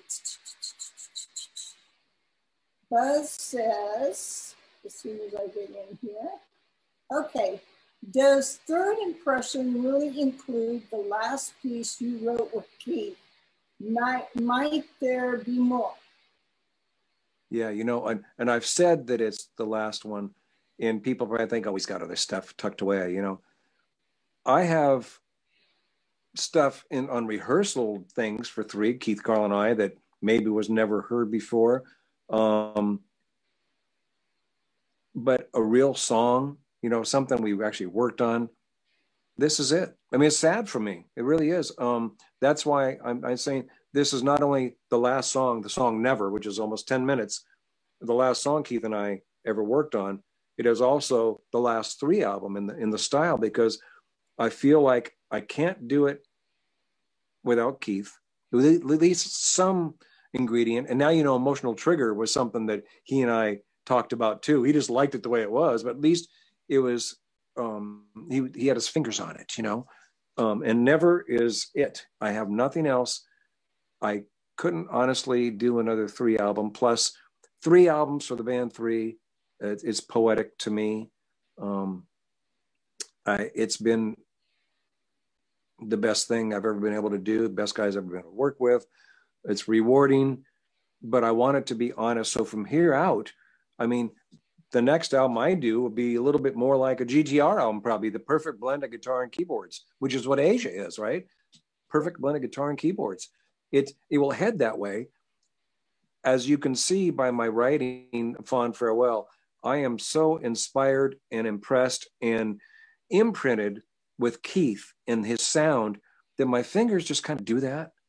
Um, the chord formations up. It, it's the really hard, fancy stuff that I I can't do, but you know the big fat sounds, all the stuff that he's known for, and all that is part of my DNA too. So yes. I can imagine, yeah, what I do in the future is going to have hints of that. But like I said, it'll be more like I think more like GTR. You'll hear some more Celtic stuff with Keith and I also share. I, I produce this band Tempest, who's fantastic, and Keith played on one of their records. Um, you'll hear that the first song on the new album is called Top of the World, and it starts. It's all a long guitar, acoustic guitar intro, more Celtic. And the manager and I, Nick, we picked that because we want people to put that on and go, "What? What? This is all acoustic guitar. What's going on here?" And then they get through the album, which has a lot of the three style, and they wind up with Never but it starts with this Celtic acoustic guitar thing just to change it up a bit. But no, this is the last song. Definitely. Um, there's nothing else that I wrote with Keith that I have. It's it's sad, bittersweet. But then again, it's time that three has the three albums to its name. Are you going to um, start a new series of albums after this three, the power of three, um, third impression. When this one I hit the streets and uh, people are able to buy it, um, you continue to put out albums that uh, might have a little different um, really different genre. Not much because I know you're prone, as uh, yeah. many of us are. Um, but um, maybe without um, Keith's, not Keith's, um, excuse me, not Keith's, um, not what Keith has, what you have about Keith's in your heart. In the, yes, yeah. Um, always stays. But will you write uh, a little bit more um, on your own, kind of branching out with what you've learned from Keith, but what, and what you what you have in your heart from Keith, but um, not necessarily with any of the music is what I'm getting at. You, yeah, you continue on. I, I think you'll hear that on this album. This this is half like the rules had changed in the style, and half um, just whatever the hell I wanted it to be. and I, I'm hoping that three fans and ELP fans will come along with me and like it. Like like the first interview with a guy like this letter off the last album. I go, what the hell? You know, I didn't expect anybody to like that, but I had to do it. It was me. And of course, it was me saying, "Well, Greg got to do uh, folk songs, acoustic songs. I'm going to do one." Right? a little spoiled. Yeah. Um, but I, I, am really interested to see what people think of the little bit of transition that's caused by this album, because that's where I sort of land on my own. You know, because you have a style that is so it's it's addictive it's it's wonderful to listen to your changes and the way you the way you feel and see things and the way you write. It's um, it's fabulous. Well and, i appreciate that for sure. And i i already put the one check in the mail. I guess i gonna have to do another one huh? i'll be expecting those you know. I'm, I'm sure you are I'll be checking that mail a couple days there, you know. now that um, it would be it would be very exciting to start seeing, you know, Robert Berry's and his band and and have your It's in your head. You know, well, you know the, the three thing is, it is funny because to me, like I said, I was half the songwriter of, the team writing the songs, and I was the voice. And I feel like three is the real me. It's just that I've tried to keep the Emerson piece of it alive. But Keith and I both changed from the original uh, three sound. We wanted more, I, I, won't call it dance rhythm, but hard, tough rhythms, you know, in the drums, the, the beats, uh, different than the, the first three album. And we already made that transition together, which we sort of agreed on. You know, he liked um, Celtic music, he liked marches, you know, he liked the drums pounding. So we actually already made the switch to what is more me because it was more him too. It's just that it had that Emerson style to it, you know. He put that thing that only only he does. I mean, he he puts these parts in and it sounds like him. You know, so it won't have that. But the style, I don't think is going to drift all that far. It'll have some. It'll have you, and you know, you have your own skill and talent. And well, here's the other thing. Now, we got December people, which I've been doing for ten years. You know, and I do have a, a straight rock band called Alliance that I've had for oh my god 25 right from after three from 1992 there's more than that. Okay. So as far as my um, straight rock side, which I do like, you know, uh, doing that because I like uh, singers like Lou Gramm and Don Henley and stuff. I like singing that bluesier stuff. Um, Gary Pihl, David Lauser, myself, we're working on another album right now. And you know, you've seen the December People thing. Next year, there's going to be a new December People album.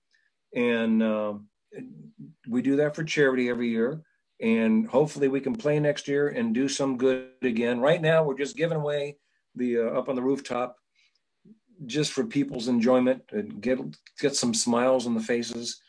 So I mean, I would say every month I write at least two songs for something every month, and every year I put out an album within my career. Um, I always give myself a couple weeks of studio time here that I don't have clients in or I'm not working with a band I'm in to do what I want to do for me. And um, yeah, I'm, I've been doing that right now. In fact, I have about eight new songs written that are, oh. Hopefully, we'll hear some of those. No. the 3.2 third impression is the most important thing to me right now. It's been a mission of mine, you know, and of course, I only have one song, but it's 10 minutes to let people know, especially with the Rules Have Changed, that Keith still had it. He had not slowed down. He was still creative. Um, he was involved in in grand, cool music, and that flowed through his uh, his mind and his fingers. You know, it just it it was something that's important to me because I these reviews on him that he could play like he used to and all that stuff. They hurt me too because I knew it hurt him, and I thought they're damaging a, a, a guy that doesn't base his, base his life on the ego of it. They're, they're hitting him right where he lives, what he believes in with himself, you know? So anyway, I don't want to get too deep into that because it gets a little sad for me, but. Um, you know, they, they started out their whole, their whole business with the songs that they chose to play wasn't, wasn't based on selling albums. It was based on going to concerts and, and doing these songs in a concert. Um, that's what they were going for was sound in a concert, and um, that um, was very different. You know, most uh, bands were playing for albums, and I think that Keith uh, is being so flamboyant and amazing on stage. You could, you, could, I've, I've obviously posted a couple of pictures, you know, here and there. Not, not many. Um, and um, some of those pictures of Keith, you can just see it in his face and body language. How he is so moved by what he's feeling and what He he's, was- what he's hearing. He was also a goofball. Which he loved to make people laugh. Didn't he? yeah. he was a goofball. Yeah, funny guy. You really. I was I'll tell you, that was that was hard that day to get that kind of news. I, I feel very fortunate that I got to work with him again. You know, we'd stayed friends through all the years. Like I said, I went be a part of his documentary and different things, but um, except for playing on a Tempest album and a couple things, you know, that were more like jobs for him. Um, we hadn't done anything creatively together, and I feel very fortunate that toward the end of his life that I got to be part of it, you know, with him. And uh, That is that is. Yeah, it's just anyway. I don't want to. I'm getting all sad again. Anyway, we've been talking for a while here. I'm not sure how long this is supposed to go. I know, right? I mean, you know, let's see. I think we have one more thing from Rolf. Well, that's okay. Rolf's a good guy. He's he Um, uh, he needs a job. I think he just needs a job. He's just you know. he says it has a very modern production sound. And I'm assuming he's talking about the emotional trigger, I don't know. right? He's still there. Is is he uh? Is it in German? Are you translating, or is that? No, it's coming across uh, in English. no, it, Rolf's here. By the way, it's a. Frank that's in Germany. I just I, I kid Rolf all the time. He you know you, you got to keep these people in check, or they run away with all your your money and your albums and you know. It's a whole album. Oh my God! oh, the whole album. He's saying. Is that what you're saying? Yeah, that's what he's saying. The whole album. Um. You know, I. It's hard for an artist, at least I think, to judge their own work. Like I wouldn't have put Fond Farewell out as the first single, and it was the exact right thing to do. The record company picked that. Um, It was good. yeah, I I don't know. Um, I feel really good about the recording quality, the, the the lyrics of the songs. You know, I'm a I like to write positive stuff. They're not all positive. You know, a little bit of negativity in this one, or a little bit darker, but still not not too bad. And I think it's. I don't think it sounds like a throwback to what we do in the '80s. I I, I believe that it has a fresh uh, sound to it, and people are gonna like it because it is a tr- little bit of a transition. You know, I mean, three itself, Keith and I would have developed. If he would have been around to see how well the Rules Have Changed had done, he'd be totally feeling better about everything, um, because nobody would have been saying, "Well, he obviously isn't playing well." They'd be saying, "Oh my God, Yeah. Emerson's look what he's doing, right? I mean, they said that about me, and I wasn't Keith. Just think if it was Keith, they, they it it'd be incredible. Would have been perfect. The timing was just a little bit six months too late, you know. And um, I'm thinking that uh, the same thing would have happened. We would have moved forward in some way. Uh, Keith had told me he wanted to uh, get an orchestra involved. I, I, would have tried to not do that, but that's expensive. Boy, talk about not making money in the music world these days. That would have been tough. Um, but yeah, we would have evolved because Keith, you know, he kept up with a lot of things. I mean, th- some of the stuff that I've have in even on this is almost heavy metal riffs that came from Keith. You know, Yeah. heavy stuff. I mean, look at look at what Keith played in um, what is it called, the Boys Club, Yeah. and uh, the way they did um, Nut Rocker. Mm-hmm. That's very heavy rock and roll. Heavy. That's right. You know, that we we all evolve it until we don't, right? And that's the problem with some bands. They get to a certain point that it's just kind of used up. They're not inspired. I'm inspired. I mean, I see a lot going on that makes me happy, makes me sad. Um, I'm fortunate because the way I write is I have to finish a song that's why I play so many instruments. I, I hear that oh, the bass line needs to be this. So I'm, I'm going to write this, and these words are coming across. Oh, and if the drums did that during, and so it all kind of happens at the same time. Mm. So I get a lot of songs uh, written, and I'm also fortunate that, I mean, I've done two songs in the last few months for this girl who's just started college, so she'd be 19. Um, they're a little bit hip hop, Sheryl Crowish kind of things. It's new music, right? I keep up on whatever. Um, I get to work with people because I'm capable of doing what they need, kind of. So I'm inspired uh, every week by other musicians too that are doing what they love. It keeps me creative. I, like I say, I'm never at a loss for an idea, and neither was Keith. Yes, yes. Now you know, Rolf um, has sent another message, and he wants to know who's keeping who in check. What, him or me?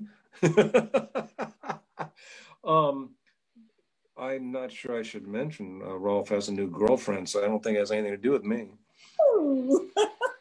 anyway, now I'm really in trouble, but uh, I, I, had to say it. He probably knew it was going to come out sooner or later. People are going to know he's very popular, you know. Uh, you know what I want to do, Dyanne, before we, we close this off, too? I want to say that Rolf is incredible. There's Ian Tasker in England, incredible. These guys that are running the three and the 3.2 um, Facebook pages and things. Um, William Haney, uh, but there's one guy missing, and that Fond Farewell really uh, could have used him. And I, I, in one way, the song is could be dedicated to him as Ed Morgan. We lost him. Um, had diabetes bad, went to the hospital, a little surgery, and didn't make it through. And Ed was famous in his own right. Everybody knows Ed. He was the Otter King. He was a sweet guy. He came to the 3.2 tour because my brother-in-law and, and Michael, his, his good friend there in Florida, uh, made it happen. And we treated Ed like royalty. And I'm so glad that we got to do that because he was a wonderful guy. Uh, he won't be forgotten during the third impression release, promo, the tour, hopefully next year. Um, Ed will be with us. Um, we just need him to, for the, the PR. So he's had to have gone to heaven. I mean, most of my friends are in hell, so I can't get a message to them because they're in a different area. But um, he's up there, and Yes. I th- here's the problem. I'm not so sure Keith went to heaven because let me. I have stories. but um, you know, hopefully him and Ed are, are talking. But I, I, I miss Ed, and I wanted to mention, uh, especially to this ELP fan base and three fan base, that Ed is not forgotten by any of us, and uh, we we cherish the memory and the positive everything that he brought to all of us. Absolutely, absolutely. Um, uh, Frank says, uh, let's see, rest, uh, rest Rolf when adults talk. oh, that. Rolf says, Frank, uh, let me see, I have to do a trans, translation, translation here. Frank, who are you calling an adult? Those they both speak German, so yeah. Yes, and of course Rolf says we miss Ed. Yeah. Uh, and uh, Wayne says, just imagine what Keith could have done with an iPad and some of the new apps, some tied to uh, Ludus, yeah. uh, such as GeoShred with the SWAM, S-W-A-M instrument, Psi. And then Wayne uh, Campbell says, rest in peace, Ed. I will say about Keith working with the new apps on iPad and stuff. Um, you could barely get an email back from Keith, let alone a text, or him getting on a website. Uh, he wasn't technology challenged because, of course, the Mo was hard to use. But um, he probably had nothing to do with that. He Keith was a real player, and uh, I, I just don't know how he'd uh, have responded to all that. He'd probably check it out because they'd want his name and the product and stuff. He'd, oh yeah, I see how it works. He'd never look at it again. He'd take that little tiny chord keyboard, he'd turn it around backwards, and he'd start playing it from the, you know.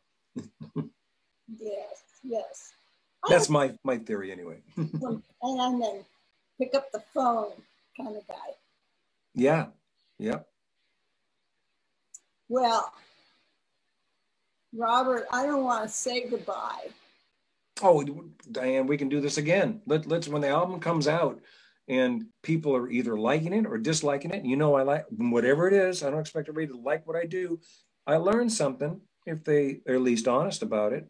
Um, and, and, they say, "Oh, you know, I didn't care for that. You shouldn't be doing that jazzy, uh, emotional trigger song. You know, no one into your jazz and rock and roll." Eh, okay, yeah, that's great. I don't mind. I mean, I, like I say, not everybody's gonna like everything I do.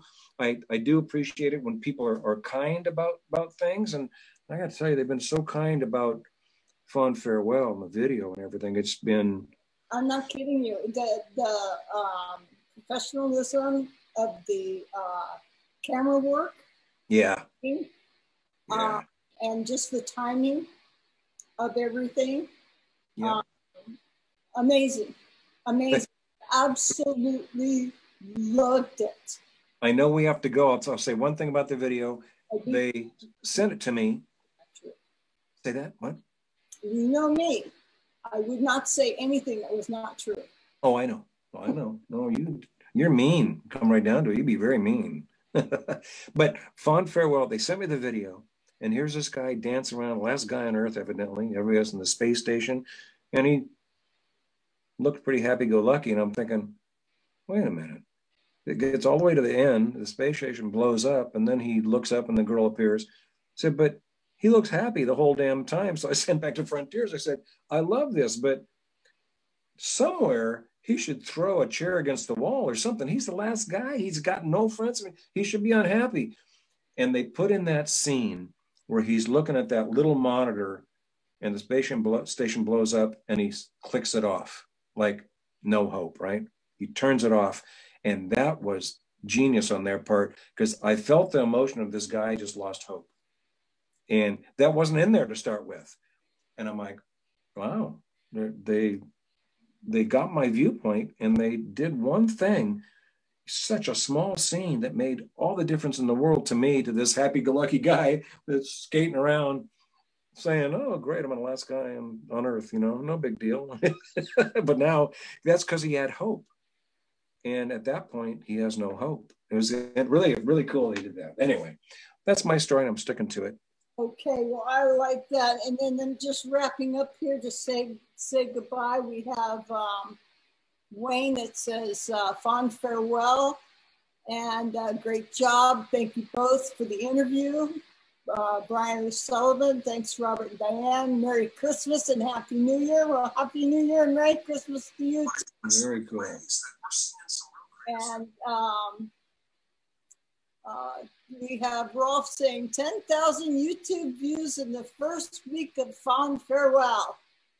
I wanted to add another zero to that, so maybe we can uh, get people to share that damn thing. we will. And, you know, next time maybe um, when we have our interview, maybe I'll be, you know, back in the studio. You never know. You know, it's it's been remodeled since you were here. It's been a while. Yep, got a brand new board, uh, and some different lighting in there, and uh, I, I, got a new I got a new guitar. Did you? Yeah, 131 now guitars.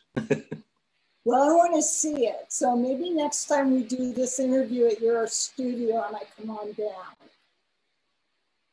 And is your daughter still in Pleasanton? Is that uh, where?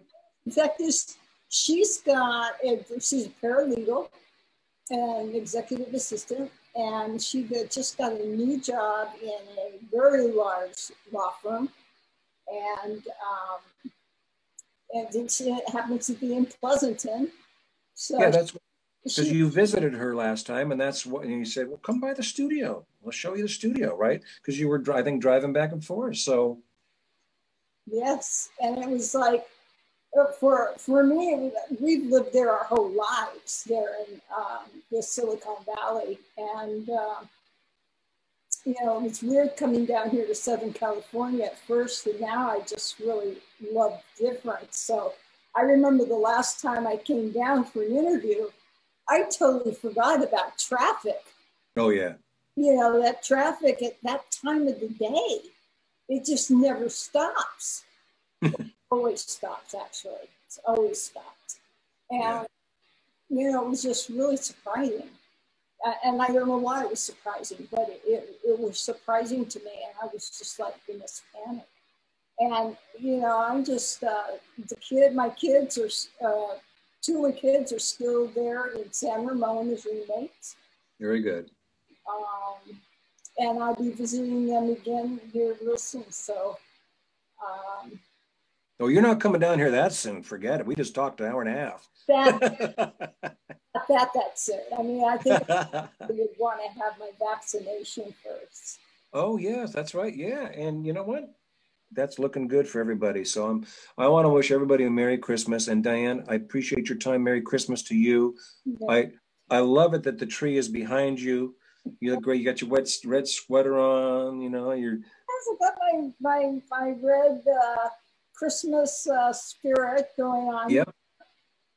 And, yep. Um, I want to wish you a very Merry Christmas, you and your family. Thank you. Um, and I want to thank you from Emerson, Lake and Palmer, Titans of Prog. We all want to thank you for your generosity and your the time that you take from a very busy schedule to, to to talk to us and to let us get a little, a little more insight about who Robert Berry is and um, the people that surround you. So well, I, I appreciate that. I, I, would be nothing, honestly, without the ELP fans because that's what launched my career. So I mean, I, I'd be playing in a local bar, right? That'd be it. well, well, we'll see. I, am not sure. I'm not sure about that, but. Um, I uh, do thank you very much. I know we've spent a lot of time here, but it was worth it. we can't help it. We get talking, and there's just stuff to talk about, you know. Oh my gosh, Robert! If I was down at the studio, we'd be talking another hour. Yeah, really. Yeah, I know. well, I appreciate it. I sure appreciate everybody uh, chiming in some questions. It was it was great. Uh, it was really familiar names and uh, people that have supported my career, and it, really have become friends. Even though it's on Facebook, on Instagram, or Twitter, whatever, you know, it's still people long term, and that that's pretty cool. I like that. And it's all within the realm of music and Mustangs, right, Frank? Absolutely, and um, and everyone, if you are not a member of the Titans of Prog. Uh, come on over and get your membership so that you can see this video or tell somebody else about this video because I keep it in a archive library for the Titans members. So we definitely want to make sure that um, you have access to this and all of our interviews. All three of the other ones, Robert. yeah. And Ian John Tasker over there in England is going to be all over this. So Oh. is he sleeping right now? Yeah, maybe. You know. Probably. Yeah, he's he's been a, such a big supporter of mine, and a good guy over there that really helps spread the word. And um, again, and just another of those people that just become a, a good friend. You know, it's amazing. Really, really cool. Isn't something what Facebook does, uh, and especially ELP and Prog? Um, I call I call our site families members, not yeah. members, because we we we all seem to uh, bond, and yeah. it's such a great feeling. It's such a great feeling, and um, even even musicians like yourself that'll come out and say, "Yeah, let's talk." Yeah, it's awesome that you normally would never have. Definitely. I'd be selling papers on a corner. You what? I'd be selling newspapers on a corner. yeah, and there's no newspapers to be sold now. That'd be a tough job, huh? you think music stuff? okay, well, we should sign off here. And I actually have a, um, a session I have to do put some uh, tracks in sent to me from Canada in a song and, and get them a mix. So I'm going to do that now. Right. And- Robert, we're going to say goodbye and Merry Christmas and Happy Holidays. And um, we all wish you the very best and, on your album and your video. And we'll be talking next year. Thanks a lot, Dyanne. I'll talk to you soon. Bye Bye. bye. Bye, everybody.